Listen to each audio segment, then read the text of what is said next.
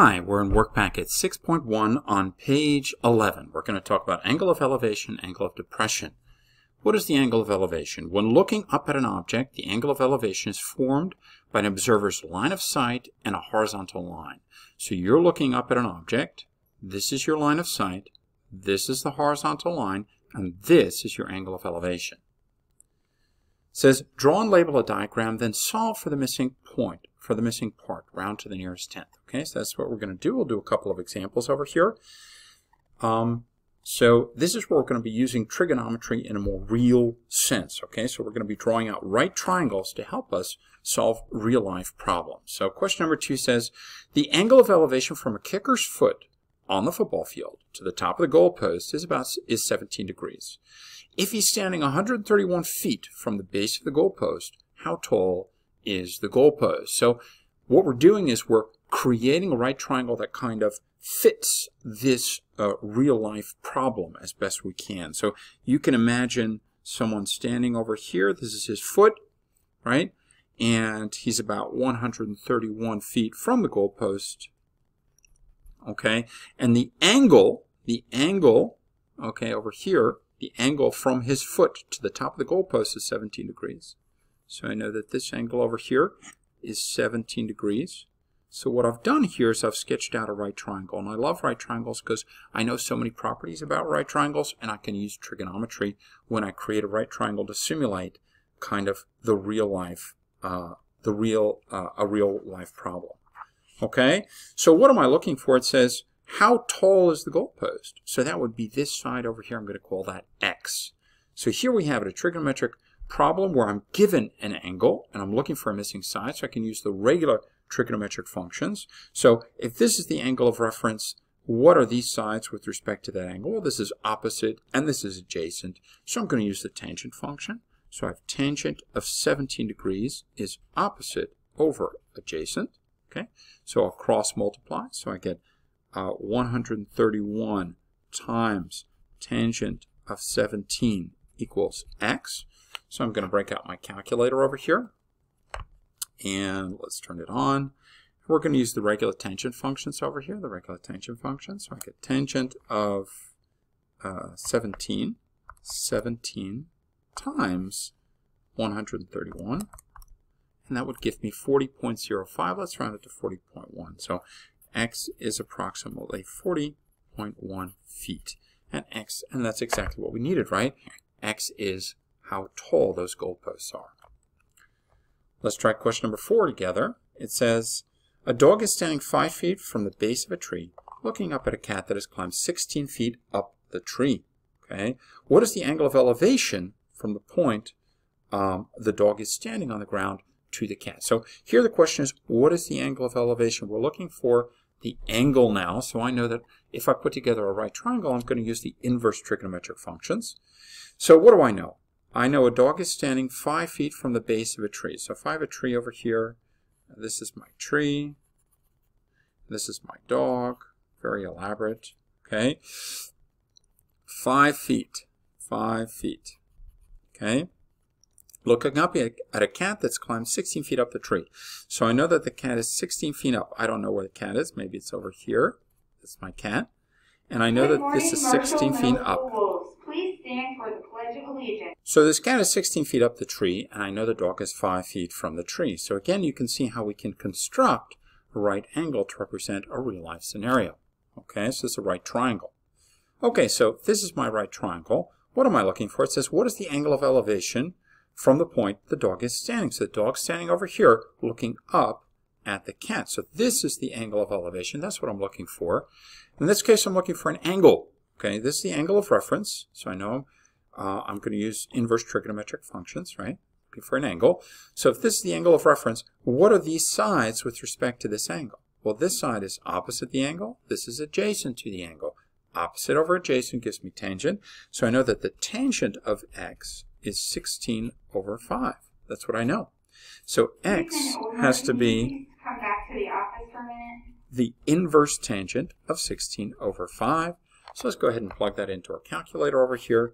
So I get second inverse tangent of 16 divided by 5, and I get 72.6 degrees. So x is approximately 72.6 degrees. Remember, it's an angle, so it's a degree. So now let's go, go to the next page. And on the next page, we're going to look at the angle of depression. So it says, when looking down at an object, right, the angle of depression is formed by the observer's line of sight and a horizontal line, similar to the angle of elevation, right? But now we're looking down. We're looking down. So this is your line of sight. This is the horizontal line. This is your angle of depression. The angle of depression is congruent to the angle of elevation because they are alternate interior angles. Very important, right? This is the angle of elevation for the swimmer. If this is, these two lines are horizontal, okay, so they're parallel to each other. I have two parallel lines. I have a transversal. This angle and this angle are alternate interior angles. Therefore, they are congruent. They are the same. Okay, so draw and label a, di a diagram, then solve for the missing part round to the nearest tenth. Okay, so here we go. Let's go to the first one over here. And it says, um, a lifeguard is sitting on a platform, just like here, looking down at a swimmer in the water.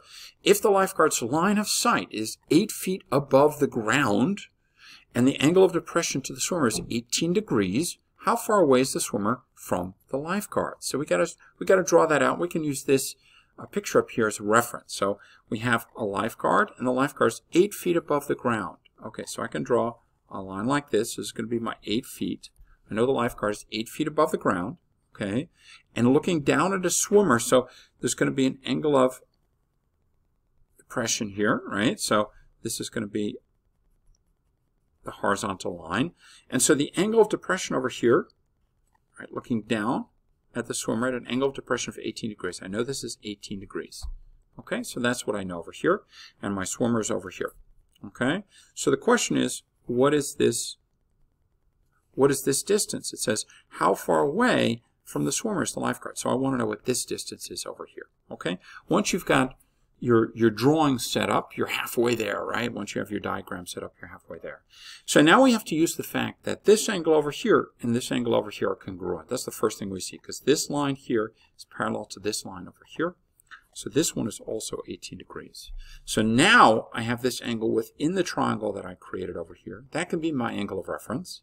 So with respect to this angle, what are these two sides? Well, this is the opposite side, and this is the adjacent side. So I can write down an equation, tangent of 18 is opposite over adjacent. Okay?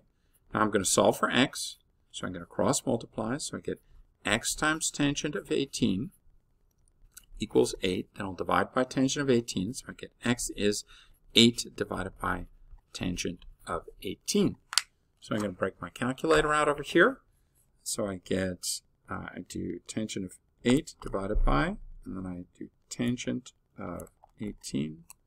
I get about 24.6 feet. So x is around 24.6 feet. And what is x? x was the distance to the swimmer. Okay, so let's go to question number seven over here.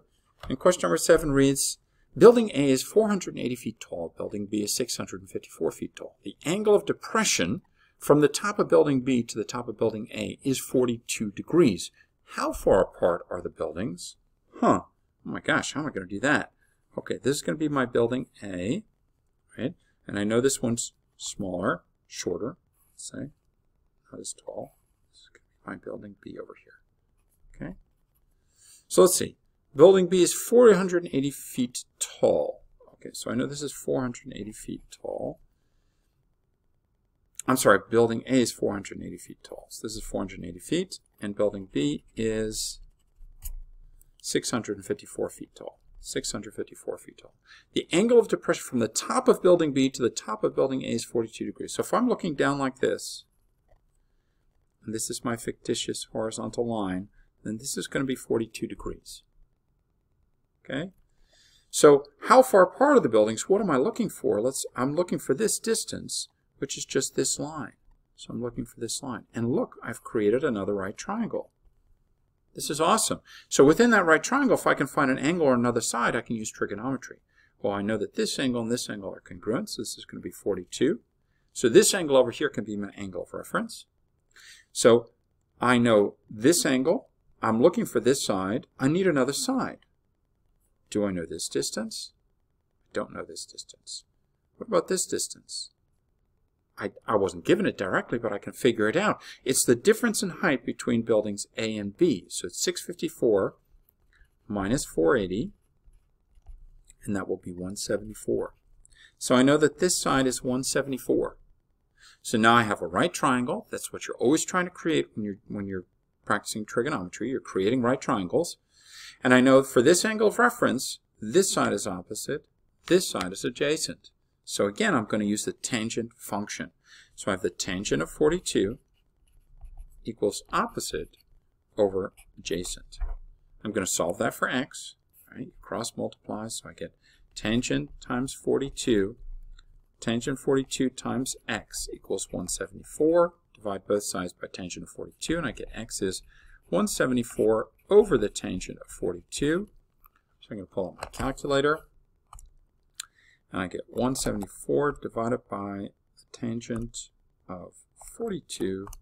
And that gives me 193.2. So it's approximately 193.2 feet. What is the distance between the two buildings? Okay, that's it for me. Thank you.